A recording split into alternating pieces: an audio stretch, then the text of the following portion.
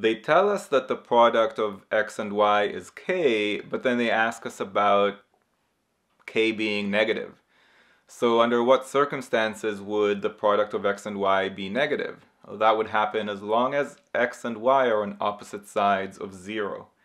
Now this is an xy coordinate plane, so you have to think about when do x and y sit on opposite sides of 0, and I'm thinking that in quadrant 1, x and y are both positive, so that's a no-go.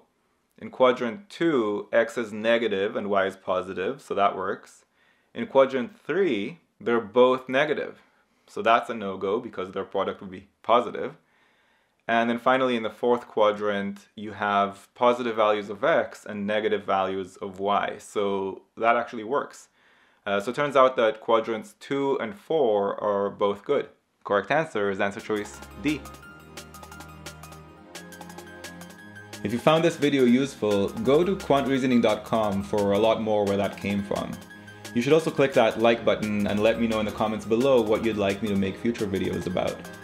And of course, if you haven't yet subscribed, go ahead and do that and click that bell below so you get notified about future videos. See you next time.